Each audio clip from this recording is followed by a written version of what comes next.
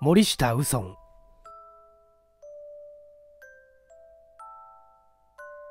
4つの指輪。1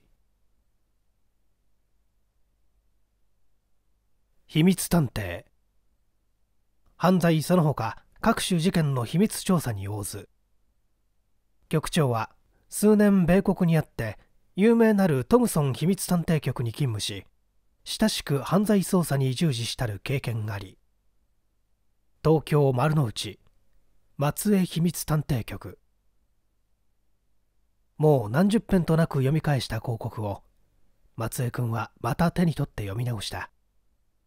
ここへ事務所を置いていろんな新聞にこの広告を出し始めてからもう1週間近くになる。それなのにまだ一人のお客もない。広告文が悪いかしら。秘密厳守事務敏活何度という文句をどこかへ入れてみたらどうだろう。とにかくこんなありさまでは大きなことを言って無理に説きつけた親父に対して申し訳がない。その方はまだいいとしても依頼人が一人もなくては第一事務所の部屋代も払えないし鼻の下も干上がってしまう。広告の方をいまいち奮発やってみるかな。松江君は用もない所在なさにタバコをぷかぷかふかしながら一人でそんなことを考えていた。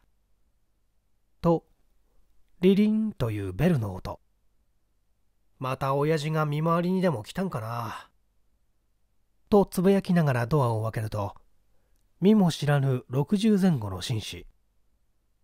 松江さんはいられるかな。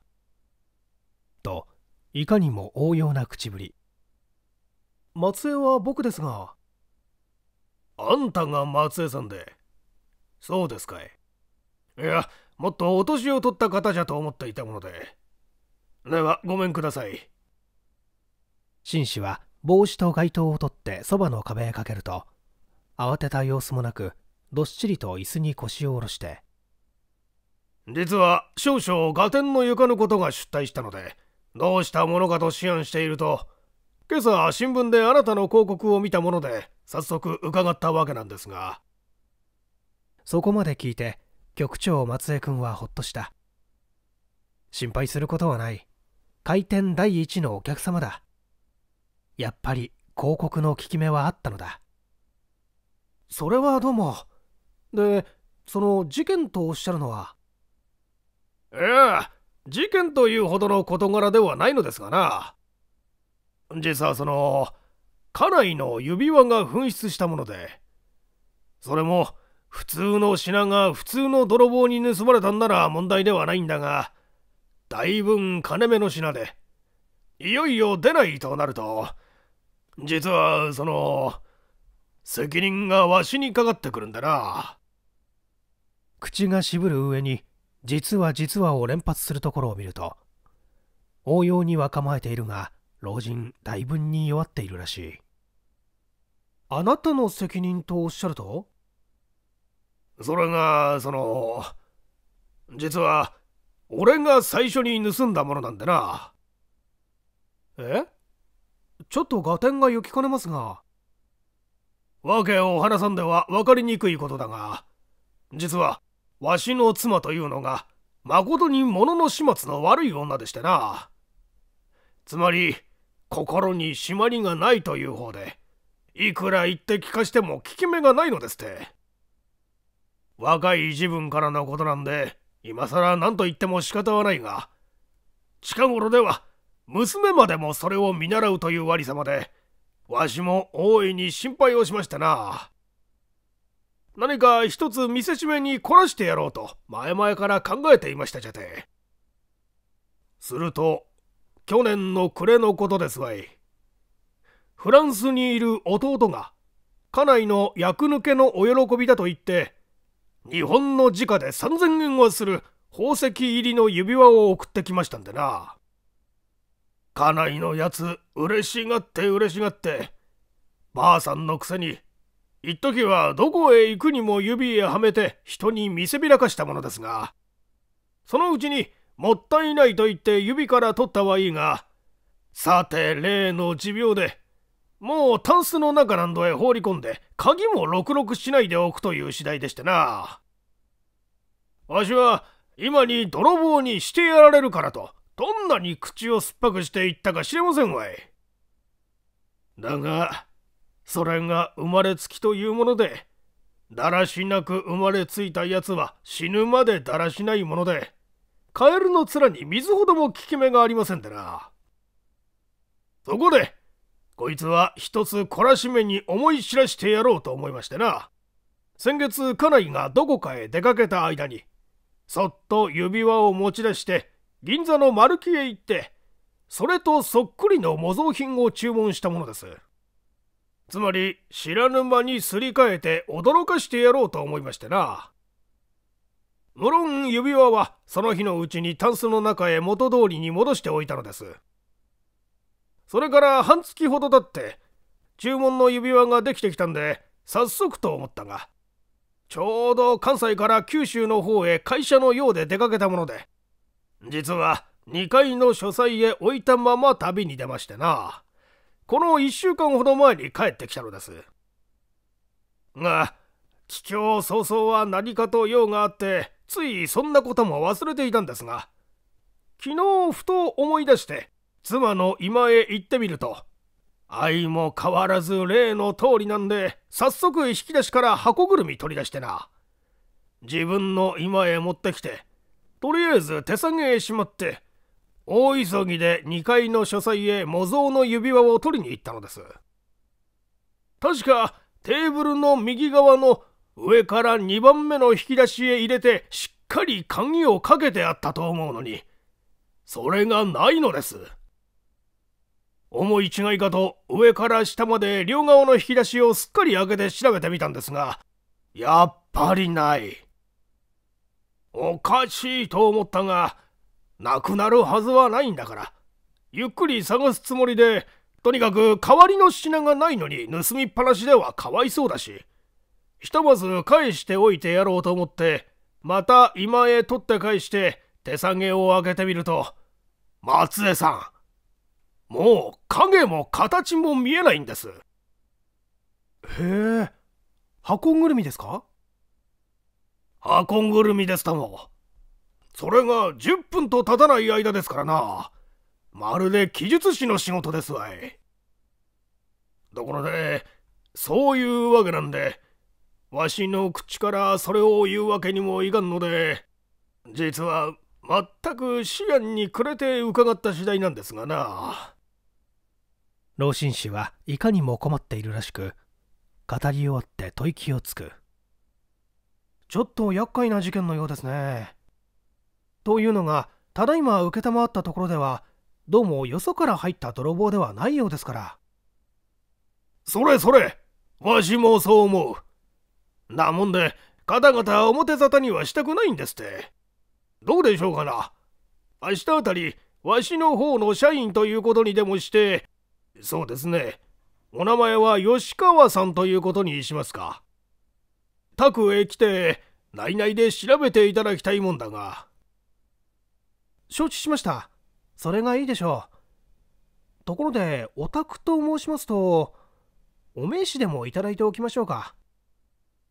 おお慌てて自分の名前も言わんで。いやこれは失礼。こういうものですがな。電車だと青山一丁目で降りて左へ折れたらすぐなんで。と名刺入れから抜いて差し出す大型の名刺を見れば山川合名株式会社重役山川健三。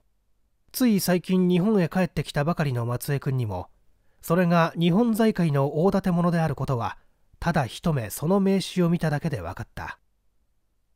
望んでもないお客様だ。しかも開店第一の来客だ。おまけに家庭内の事件と来ている。骨は折れるかもしれないが、その代わり骨折りがいは十分にある。老紳士を送り出してから、松江君は急にゆったりとくつろいだ気持ちになって、そんなことを考えていた。2それから約30分も経たないにまたリリリンと呼び鈴の音。うまいぞ。またお客様だ。こんな仕事にもやっぱり潮時というものがあるんだ。どれ。松江君は悠々と椅子から立ち上がって出迎えた。と今度は五十格好の品のいい婦人。結城縮みに博多の帯。身なりもしゃんとしている。あなたが松江さんでいらっしゃいますか？これは初めてお目にかかります。私ちょっとご相談がありましてお邪魔をいたしましたが他でもございません。先刻タクが伺って大体お話を申し上げたと思いますが。とやや口ごもるはあ。ではあなた様は山川さんのご婦人で？さようでございます。するとお大切の指輪が紛失なすった件でございましょう。おタンスの中から何かもう手がかりでもあったんですか？いいえ。それとは少しお話が違いますので。山川夫人はゆったりした態度で。指輪はここにあるのでございます。私持ってまいりました意外千番松江君が二の句も告げず口あんぐりの体でいると夫人は手提げの中から目もまばゆいばかりの宝石入りの指輪を取り出して「これでございますの。これはあなた様がお調べに屋敷へいらしてくださる時までお預けいたしておきます。宅のお話をお聞きくださったことと思いますが生まれつきと申しますか。宅は全く口やかましい方で。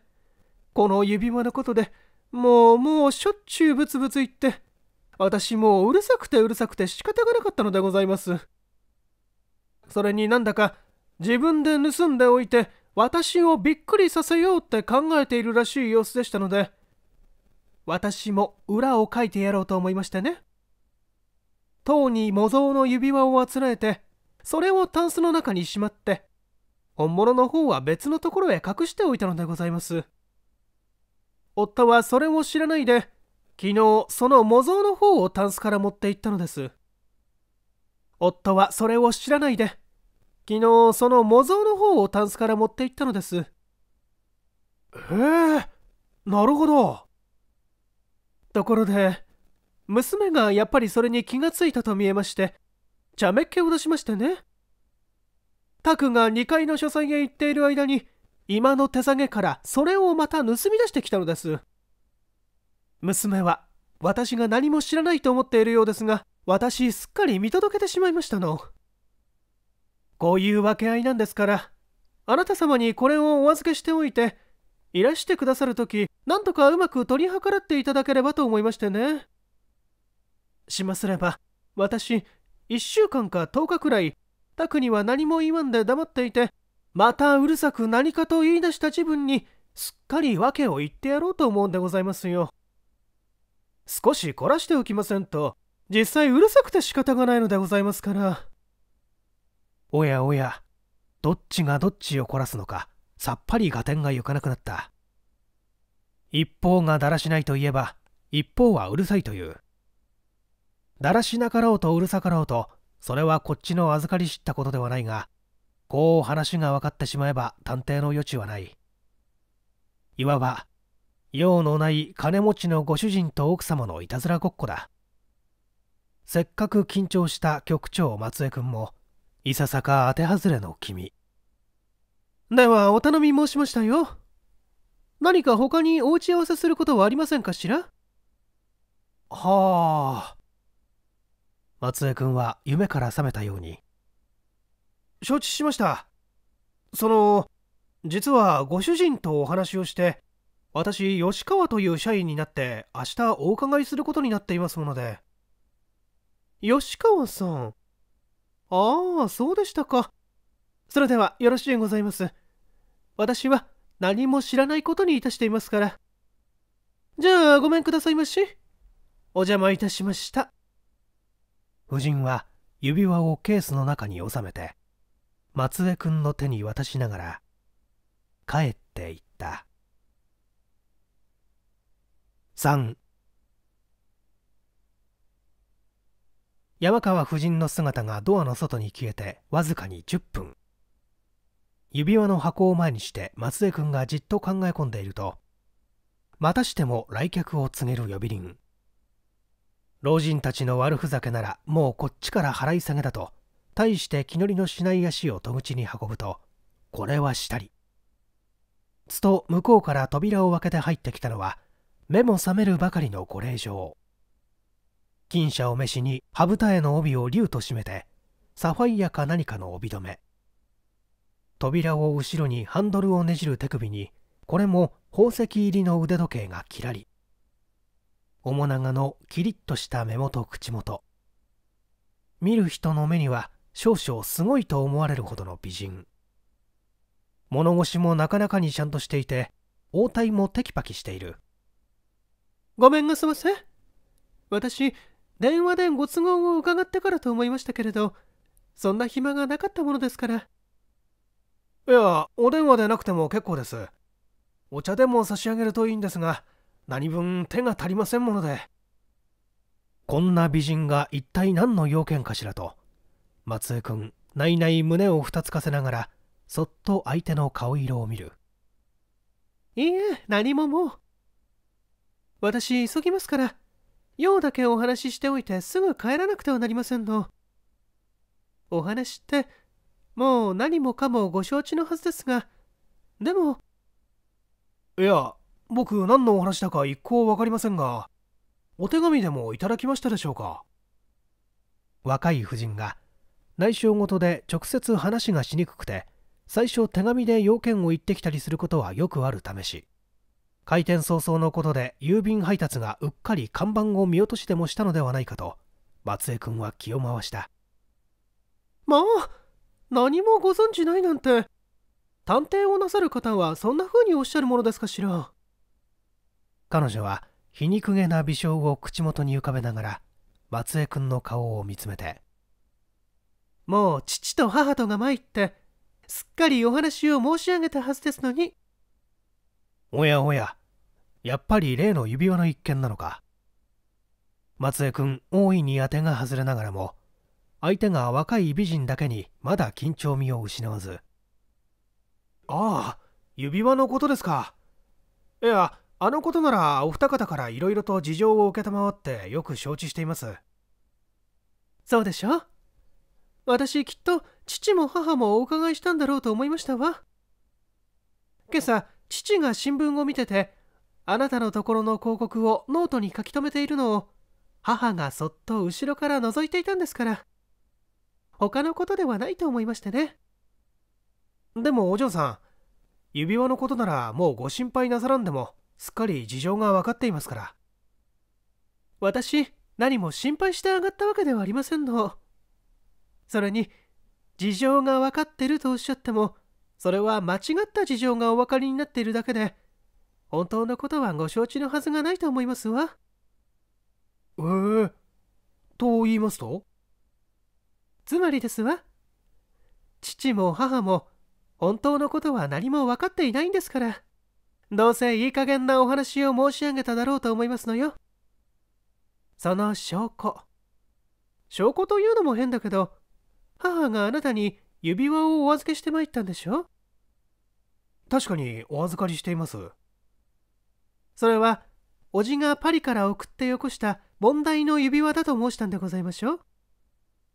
そうです。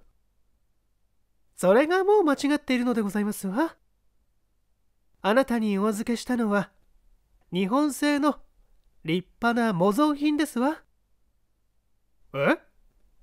するとお父様が内緒でおこしらえになった方ですか？いいえそれとも違いますの。すっかりお話ししないとお分かりになるまいと思いますがおじから送ってきた指輪というのがいわばまあ家庭不和の種でございましてね。父は泥棒に入られると言ってやかましく申しますし母は母でそれをうるさがるしそれならいっそのこと私にでもくれてしまえばよいものを父への当てつけにわざと売っちゃっておいたりするんですものでも私そのうちに母が実は模造品をこしらえて本物の指輪は今の手提げの中へしまい込んであるのを知りましたの。というのも父が口でやかましく言ったばかりでは効き目がないので母の知らない間にそっと持ち出してびっくりさせようと企んでいる様子が見えたので母はその裏を書いたんだと思います。母にしては大出来なんですけれどあまり感心したことじゃありませんわ。大きに。松江君はうなずきながら相づちを打つ。それに父も父なんですわね。お聞きくだすったことと思いますが父もやっぱり模造の指輪をこしらえていたのです。私最初はただ持ち出すばかりかと思っていましたのに模造品の用意をしているのを見るとそーっとすり替えておくつもりであったと思われますの。本当に太刀の良くない悪巧みですわね。父にしても母にしても。ですから私公平な裁判官になって裁断をしようと思っていろいろと考えた挙句本当にいいことを思いつきましたわ。なるほど。いやなかなかもって面白いお話です。全く面白いんですの。で私父が関西へ旅行している留守の間に2階の書斎に隠してあった模造の指輪を持ち出してそれを母の手提げの中へ入れそこにあった本当の指輪は私が預かることにしたのですなるほど。だんだんと話が込み入ってきますね。そうなんです。それから昨日のことでした。父が用もないのに母の居間へ入っていくので、そっと様子を伺っていますと、思った通りタンスを開けて、指輪の箱を持ち出して、何食わぬ顔をして自分の居間へ帰っていったと思うと、床の間に置いてある手提げへそれを入れて、2階へ上がって行きました。留守の間に私が取り出したことを知らずにテーブルの引き出しに模造の指輪が入っているつもりで取りに行ったのです。どちらにしたってどうせ模造品ですしそれをすり替えようと言うんですからもうそれっきりで知らん風をしていてもよろしかったんですけれどついでのことにもっといたずらをしてみたくなりましたのでその間に父の居間へ行ってたった今父が手提げへ入れていった指輪を持ってきたのです。ですから結局父は何もなくしてしまって色を変えてこちらへ伺ったわけなのです。これは意外なお話です。するとだいぶ話がこんがらがってきたが要するにお母さんがご持参になったのはお父さんがあつらえて作らせた模造品でおじさんから送ってこられた本当の指輪はあなたがお持ちになっていらっしゃるというわけですね。そうですわ。本当のとそれから母が作らした模造品と2つ持っているのです。ここへ持ってまいりましたの。私もやっぱりあなたにお預けしておくことにしましょう。これでございますわ。令嬢は心持ち膨らんだ黒革の手提げから同じようなちょっと見分けもつかないビロードの小さい箱を2つ取り出してうまくできていますわね。箱だってこんなにそっくりにできているんですもの。中のものは素人には見分けがつきませんわ。と2つの箱を開いてみせた。いかにも中にはめた宝石の色艶から金具の細工まで寸分違ったところはない。そういえばさっき山川夫人から預かった指輪も素人目にはそっくりそのままとしか思われない。実際よく似せたものですね。でどちらが本物なんです？こっちなんでございます。私も箱で見覚えをつけているくらいのものでごっちゃにしたら見分けがつきませんが。でもやっぱりどこか玉の艶から細かい細工のところが違っていますわね。なるほどそうですね松江君はそう言って一方の箱を手に取り上げたものの色艶がどう違うか細工のどこが変わっているか一向にわからない。しますとあなたは今日おいでくださるんですの？それとも明日？ええ明日お伺いすることにお父様にお約束申したんですがお父様のご関係の会社の社員の吉川ということにして。吉川さんですって？変名ですって？結構ですわ。それで置いてくだすってどういう風になさいますおつもりですかしら？さああなたのお話を聞くとすっかり事情が違ってきましたのでどういう風にしたものですか？これでなかなかお話が込み入っていますからね。そうなんですわ。だから私こんなことも考えたんですがつまり母ばかりが悪いんでなくて父もやっぱり良くないんですから。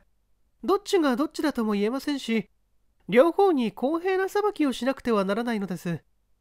つまり片手落ちのないようにですわ。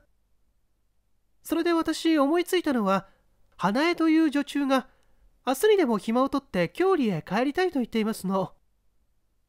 ですからこれを幸いと花江が本物も模造品もすっかり盗んだことにしたらどうかと思いますわ。なるほど。それで後の始末はどうなさるんです？あとは何でもありませんわ。花江が郷里へ帰ってからすっかり介護して送り返してきたことにするのです。私今朝もう花江にその話をしましたの。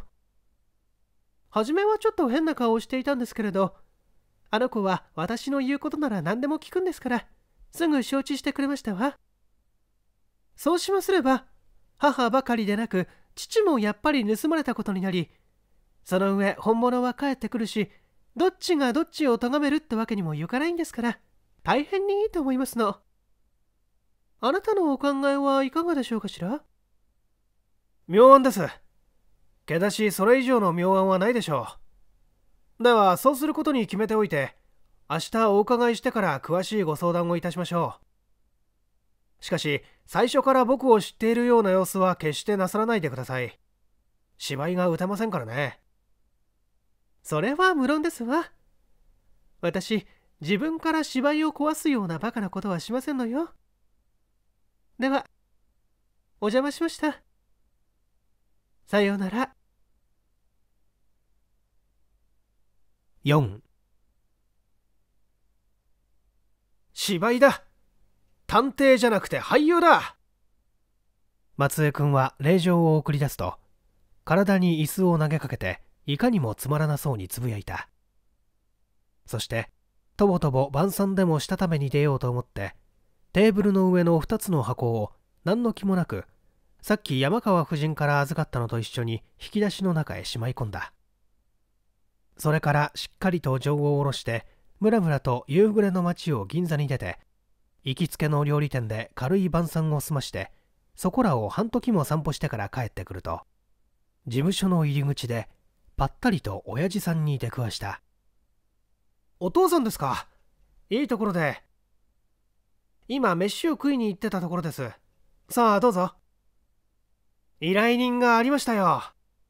宝石入りの指輪の紛失事件でなかなか込み入っているんだがちょっと面白い事件です。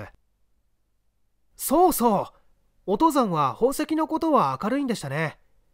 一つご鑑定を願いましょうか。手元へ模造品と一緒に指輪が3つも来ているんです。あまり気乗りのしない事件ではあるが元来探偵なんて職業には賛成していない親父の手前強いて元気をつけて始終の話をした後でさて引き出しからビロードの3つの箱を取り出した。松江君の父は78年前まで銀座のバツバツ堂時計店に勤めたこともあり貴金属や宝石類のことにかけては一角の玄人である。まず3つの箱を順次手に取って箱の外観を念入りに見比べてからさて蓋を開いて一つ一つ指輪を手のひらに乗せて電灯の下へ持って行って横から縦から穴の開くほど見入っていた親父はつと顔を上げたと思うと。それでこの3つのうちでどれが本物だというんだね？と眼鏡越しに松江君の顔をじろりと睨むように覗きながら聞く。それは僕にお聞きにならなくてもお父さんにはお分かりでしょ？いやわしにもわからんから聞くんだ。わしの目で鑑定したところによるとこの3つの中に本当のタワの入ったのは一つもないんだからね。え？するとみんな模造品だとおっしゃるんですか？そうだ。金は金だがね。肝心の宝石は皆偽物だよ。それはこの道の人ならこれがみんな日本人の模倣細工だことは一目見ればわかるよ。フランスやアメリカあたりの品と比べるとどことなく垢の抜け方が足りないんだからね。それに何よりも本物か模造品かということはこの宝石を少し注意してみれば分かりそうなものだ。第一艶がないじゃないか。それわしの指輪と比べたってわかるだろう。親父は左の薬指にはめた指輪をぬっと松江君の鼻の下に突き出しながら「お前だって本当に立派な探偵にでもなろうってなら宝石の研究くらいはしとかなくちゃ人に笑われるよ。とにかくこれは鑑定家にかける必要などありはしない。3つとも立派な日本製の模造品だ。裏側のマークを見たってわかるじゃないか。松江君は口あんぐり。弁解をしようにもどうしようにも、こうまで断定的にきっぱりと宣告を下されたからには、口を差し挟む余地もない。まして松江君の父は長年の間自分で宝石を取り扱った人だ。少なくとも本物かまがい物かくらいの鑑定に誤りはないはず。すると事件はさらに変わってきたのだ。ことはいささか面倒になる。芝居ではなくてやっぱり探偵を要する事柄だ。今一人何者かが模造の指輪をこしらえたのだ。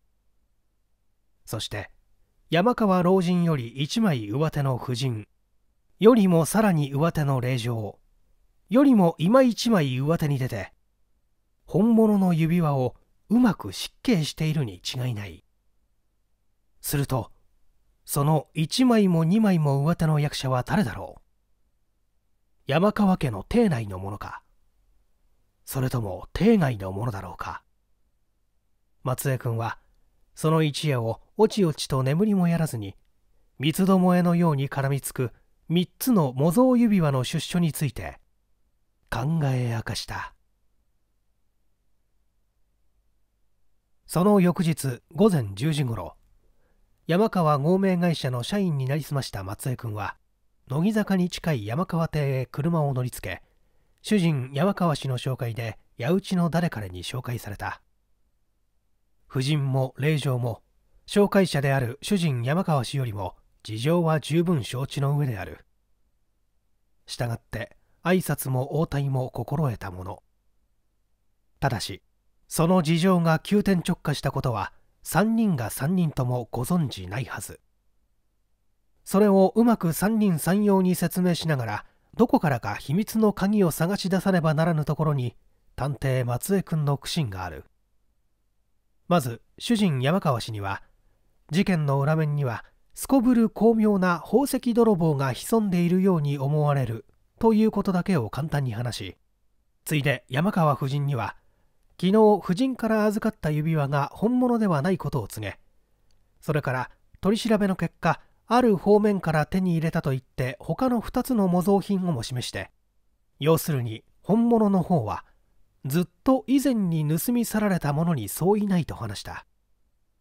夫人は松江君の言葉を最初は冗談だと思ったらしかった。が3つの指輪を目の前に並べて説明されると初めて顔色を変えて驚いた。であなたは拓にこのことをお話しなさいまして。夫人は声まで震わしていた。いやご主人には何もお話はしないんです。指輪もご覧には入れませんですから当分このことは絶対秘密にお願いしたいと思います。承知しました。でも不思議ですわね。3つも同じ指輪があるなんて。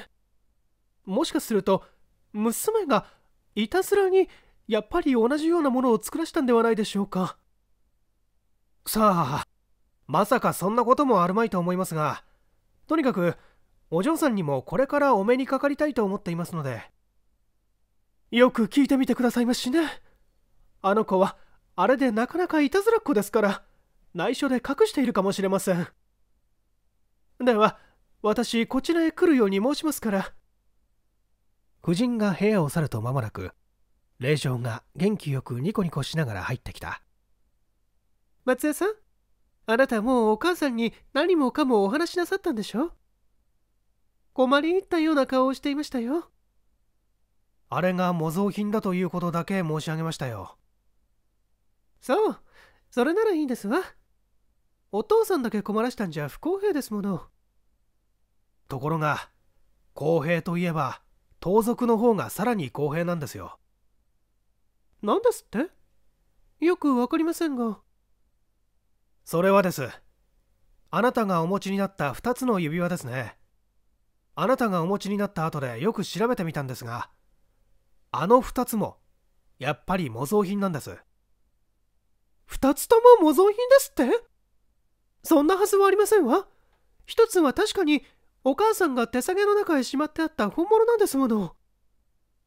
令嬢は目の色を変えて言う。いや手提げにしまってあったことは事実でしょうがあなたがそれを取り出される前にもう誰かが模造品とすり替えてあったんです。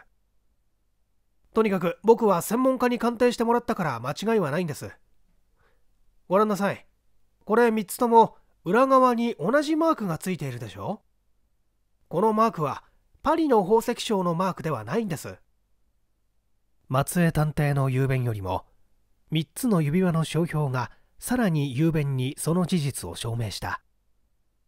令嬢は開いた口も塞がらぬてすると一体どうしたというんでしょう？本当に泥棒が入ったんでしょうか？無論そう認めるのほかはありません。しかしこの泥棒が外から入ったかそれとも邸内にいるかは疑問ですが。外から入ったはずはありませんわ。他に何も盗まれたものはないんですもの。でも屋敷の中にそんな手癖の悪い者がいるわけもありませんわ。ごもっともです。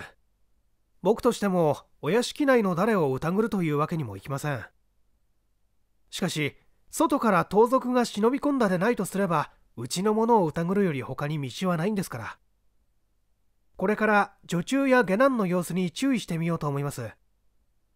ついてはですね昨日花江さんとかいう女中が暇をもらいたいと言っているとかいうお話でしたがこういう事情ですから事件の解決するまで暇は出さないことにしていただきたいと思いますが。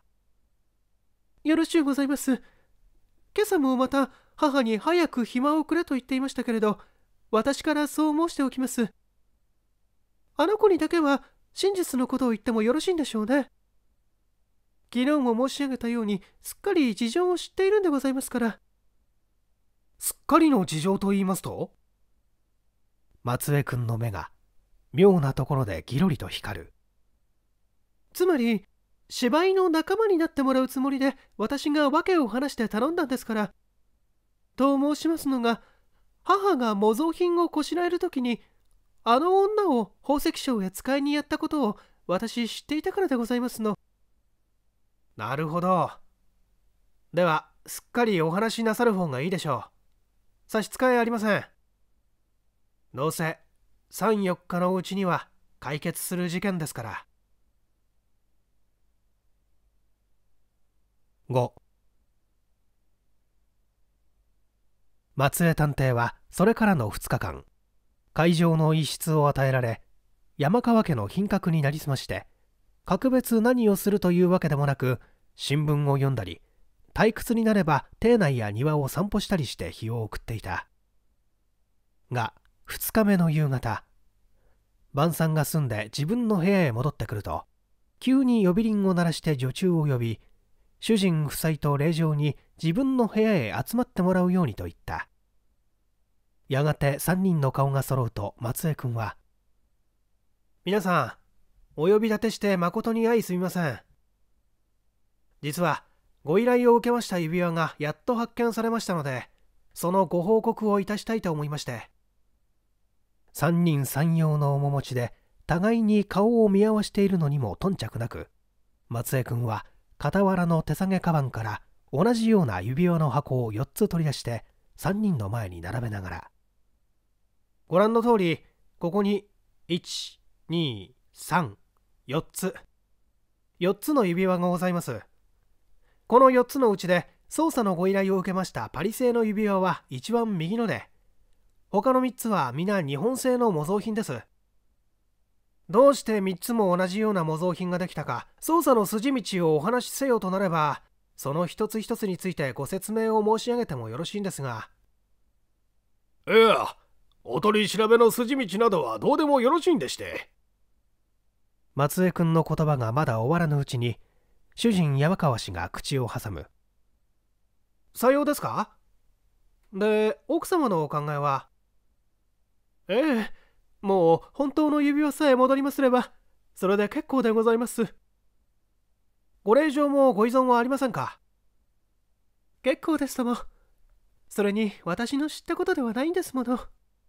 お母さんさえ良いとおっしゃればしかし令嬢の顔にはいかにも怪げそうな色がある。では一切何も申し上げないことにして4つともこの場でお返しいたしましょう。それに代わり私からお願いしますことはどうかこの本当の指輪はこの際お嬢さんにお譲りになってはいかがでございましょうか。同じく保管をなされるにしてもお若い方の方がもっと注意も行き届きますししたがって盗難の憂いも少ないことと私は考えますが。なるほど。それは良いことを考えてくださった。そうなれば第一わしも余計な心配をせんでも済むんでな。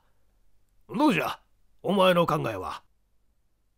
山川氏は夫人の方を見る。あなたはご自分で勝手に心配をしていらっしゃるくせに。何も私あなたに心配などしていただかなくてもようございますのよでも松江さんがせっかくおっしゃってくださるんですしそれにどうせこの子にやるものなんですからそういうことにいたしましょうそう私にくださるのおお嬉しいでは私もう訳など聞かなくったっていいわ。お母さん、ありがとう。ことはめでたく終わった。ところで、探偵松江君はどうして本物の指輪を探し出したのか。問題はそれである。がそれは、皆さんに一つ探偵をしていただきたい。